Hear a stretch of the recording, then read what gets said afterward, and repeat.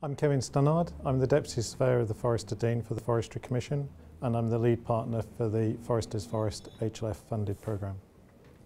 In many ways, as the lead partner, I've got the key role of making sure we deliver on the contract with the Heritage Lottery Fund to make sure we do and the partnership does what we set out in the original bid.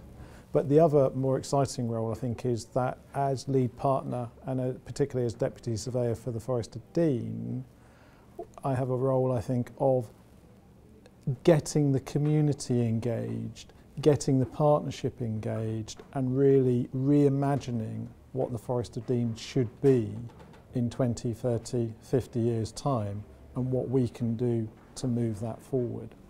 It's a very exciting opportunity. The Forest of Dean is an amazing landscape. People use the word unique all the time, but I think in the forest we can really say that we've got a unique combination of cultural heritage, built heritage, wildlife, all of that's entwined.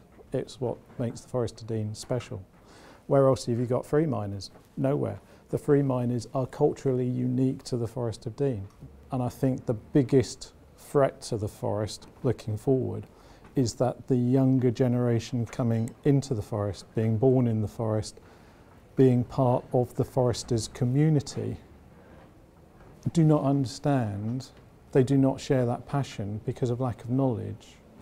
What we need to achieve by 2020 is a step change in understanding about what makes the forest special. Because if we don't understand, if the next generation doesn't understand, we're not going to work at keeping it and it's just going to get lost by countless hundreds of decisions that don't respect its uniqueness.